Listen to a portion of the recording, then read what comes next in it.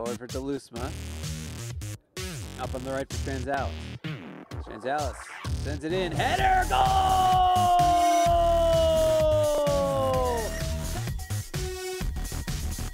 Lopez to the right.